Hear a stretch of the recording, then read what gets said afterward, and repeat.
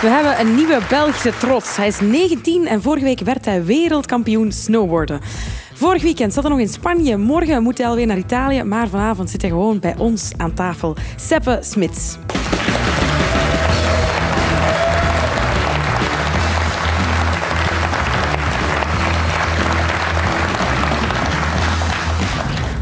Ja, wat een applaus. Maar jullie hebben gelijk, we hebben niet elke dag een wereldkampioen in ons uh, midden. Dag Seppe.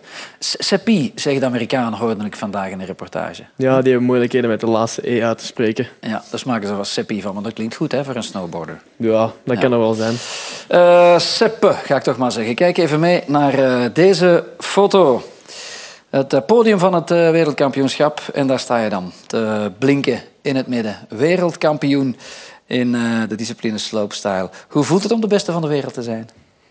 Well, dat is niet echt... Op die moment zelf heb je daar een, een goed gevoel bij. Je voelt je gewoon echt blij en uh, je bent heel blij met wat je hebt gepresteerd. Maar achteraf... Uh, het geeft niet echt zo'n heel speciaal gevoel als ik terug in België was. Op de luchthaven had ik een fijne ontvangst en zo, maar mm. nu, is het, nu voelt het terug redelijk normaal aan eigenlijk. Dat klinkt al als een, echte Belg, dat ben je ook. Hè? Nuchter, voetjes op de grond houden.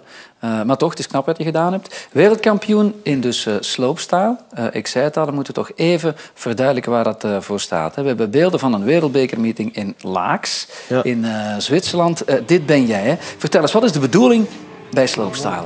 Um, dat zijn allemaal obstakels eigenlijk, jumps en rails achter elkaar. Mm -hmm. En het is de bedoeling eigenlijk op de eigenlijk een goede combinatie neer te zetten van allerlei tricks achter elkaar.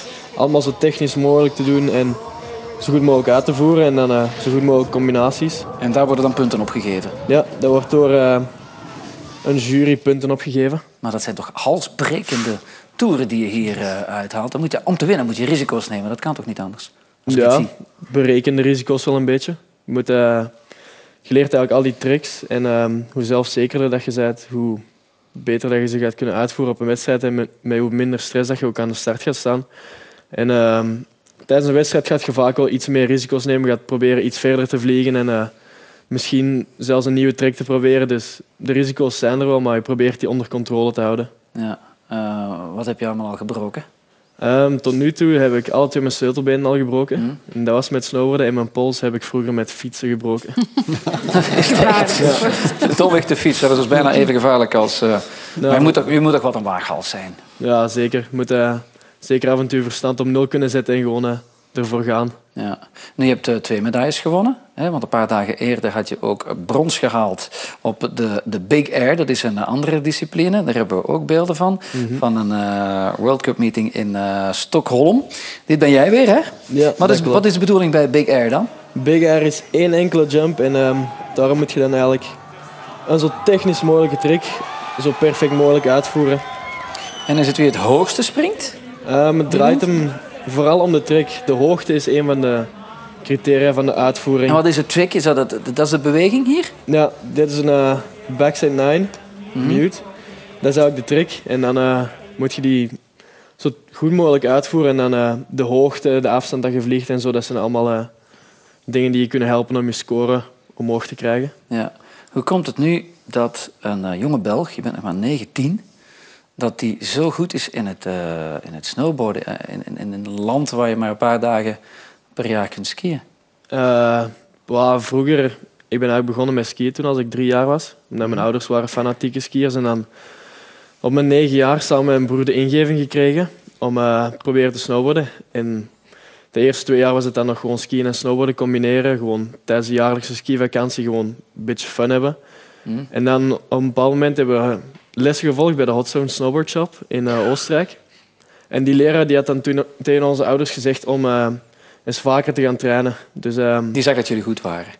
Die, uh, die zag wel iets in ons. Ja. En um, uiteindelijk zijn we dat dan gaan doen. We zijn vaker indoor gaan trainen op de indoorpiste. En, en dat um, kun je dus indoor kun je trainen in België? Ja, kan zeker een heel goede basis leggen indoor. Dat is, ja. eerste jaar wisten we niet dat er een funpark was eigenlijk. Dan, dan hebben we het tweede jaar pas ontdekt dat er een funpark nog naast de gewone piste lag. Mm -hmm. En um, wat snowboarden heeft gewoon om de een of andere reden, daarbij heeft gewoon de drang om uh, te gaan springen. Mm. En dus waren we meteen verkocht aan het funpark. En uh, na elke training zijn we gewoon uh, rechtstreeks het funpark ingegaan en daarop nog verder gaan trainen. En nu ben je wereldkampioen. Ja. Zitten, zitten hier snowboarders aan tafel? Ik heb dat vroeger nog gedaan. Echt? Ja. En? Nee, dat is niet waar. Ik, ik, ik heb er respect voor. Ik kan dat niet. Je zou misschien snel op je rauwe kloten eh, ga, ga gaan. jij nu beginnen? Ja. Nee, nee, nee, het is, Nee, nee, kan- Iemand van jullie? Mijn skiervaring beperkt zich tot de reis met de ziekenkast naar Zwitserland. Dat is niet te vergelijken met wat hij allemaal Heel veel uitsteekt. respect voor ze hebben, echt Ja. waar. Ja. Ben je er op een bepaalde manier eh, jaloers op? Die, die, Absoluut, die ja. manier van fun beleven, van, van, van, van, van reizen in de vrije natuur, actie? Ja, ja, natuurlijk. Want als, als, als schrijver is het altijd via, via dat papier en, en je zit geklonken aan je werktafel achter je computer. Eh, het is toch ook allemaal heel eh, cerebraal. En, en dat, dat, dit is zo fysiek, zo het lichaam en loskomen van de aarde. Eh, ja, het lijkt me fantastisch. Ja, je hebt het woord al fun gebruikt, maar misschien verkijken we ons er ook een beetje op, Seppe. Ik kan me niet voorstellen dat het alleen maar een roetsbaan van plezier is. Word je toch geen wereldkampioen? Eigenlijk wel. Nou zeg. Ja, er zijn natuurlijk... Eigenlijk elk moment dat ik op mijn snowboard sta, heb ik eh, wel fun. Ja. Dus ehm, daarbij komen dan uiteraard nog kracht- en conditietraining. Wat dat net iets minder fun is als snowboarden, maar als je dat doet voor hetgeen wat je het liefste doet van de hele wereld, dan, eh, dan heb je dat er zeker voor Maar over. dit is toch dan- topsport, hè? Ja, Maar je, je moet dus geen leven eh, van een pater leiden. nee, dat is zeker niet. Er, het is gewoon snowboarden, dan krachttraining en conditietraining buitenaf doen en dan eh, is er ook nog tijd voor andere dingen af en toe. Voor fun, fun, fun. Ja, Ja. goed, goed, goed. Zullen maar niet vragen Nee, nee, wat. ik hoor het je graag zeggen. Ja, ja waar is er dan nog een tijd sneeuwman maken? Ja, sneeuwman, studeren. sneeuwman maken. Ja. ja, want je studeert nog, hè, by the way. Dat mag ook even gezegd worden voor. Ja, ik studeer industrieel ingenieur bij Groep T in Leuven. Ja. Omdat je van dit beroep nog Snowboarden, niet ja. kunt leven. Snowboarden zit niet evenveel geld in als voetbal of tennis. Dus eh, kan er wel eh, een zakcentje mee verdienen, maar niet genoeg voor mee verdienen om eh, eigenlijk later van de rente of zo verder te leven. Zoveel geld zit er niet in de sport. Nee, maar het is wel heel erg plezierig. En In, het in is al, het schrijverschap daarentegen en de stand-up comedy. ja. Weet je wie we zijn eh, even gaan opzoeken? Een Demir Goulia, ken je die? Ehm Demir, ja.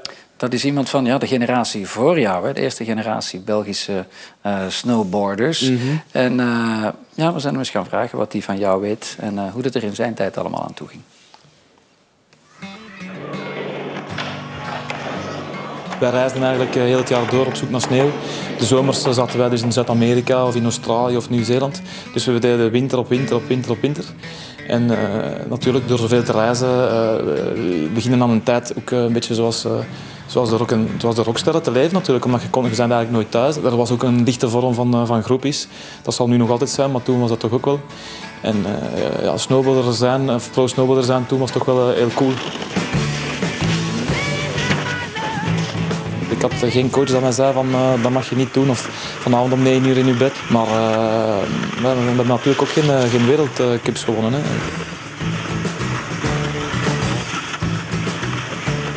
Ik moet zeggen dat, dat mij toch al de beste dagen in mijn leven eh, heb ik op mijn plank meegemaakt. Oké, ik, heb, ik heb twee kinderen, dat was iets ongelooflijk, maar naast dat kan ik, is er niks dat boven mijn, boven mijn plank komt. Ja, ik vind het ongelooflijk. De hele wereld nu weet dat, eh, dat je eigenlijk niet van een land moet zijn met bergen om, om, om, om zo ver te geraken. Ik denk als je een doel hebt, eh, dan kun je er wel komen. En Seppen heeft, eh, heeft bewezen dat, dat die droom er voor iedereen ligt. Hij heeft ook de, de cojones, de bal om het constant te blijven progresseren, blijven performeren. Maar ik denk eh, dat een goede snowboarder van nu zeker ook eh, toffe feestjes en toffe reizen en, eh, en groepjes en alle toffe zaken aan de snowboarder zal, zal meemaken. En ik denk dat Seppe dat zeker al gedaan heeft. Mij heb je overtuigd, geef mij een plank. Oké. Een plank voor Alina. Ja, groupies en rock and roll al tegengekomen? Dat kan al wel eens voorkomen, ja. Dat hoort erbij. En waarom niet? Nu Je hebt daar wel sneeuwballen, dat is wel minder natuurlijk. Nu, je hebt één probleem, eh Seppe. Eh, wereldkampioen in eh sloopstyle, bronzen medaille Big Air. Maar dat zijn geen Olympische disciplines. Hè? Nee, Daarvoor klopt. moet je ja, de halfpipe halfpipe. in. Ja. Maar daar ben je iets minder goed in? Daar hebben we vroeger eigenlijk nooit trainingsmogelijkheden toe gehad. De indoorpistes hebben jumps en rails, Ja. maar geen halfpipe. Dus eh, Dit ben jij in de halfpipe, hè? ja, dat klopt. Dat is op, eh, op het Belgisch kampioenschap.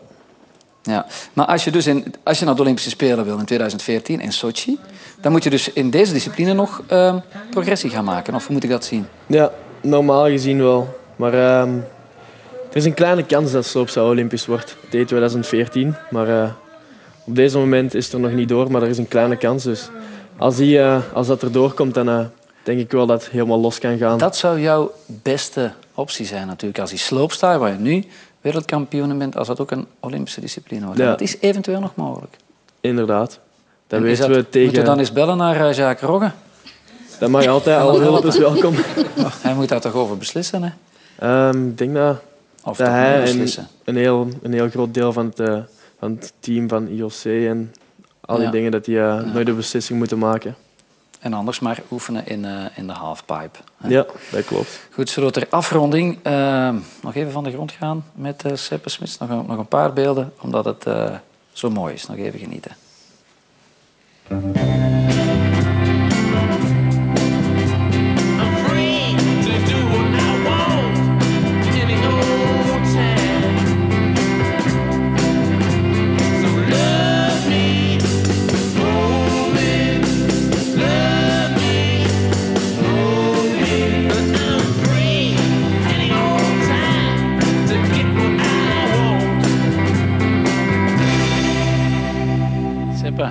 Beschrijf dat gevoel eens als je daar hangt in de lucht. Pure adrenaline en gewoon gevoel van vrijheid een beetje. Dus eh, er is geen beter gevoel voor mij in de hele wereld. Ik wil dat ook kunnen. Beetje laat, denk ik. Ja, het is nooit te laat om mee te beginnen. Mijn vader die is, eh, die is na mij en mijn broer begonnen, beginnen met snowboarden. En volgens mij was hij toen 44 of 45 ook.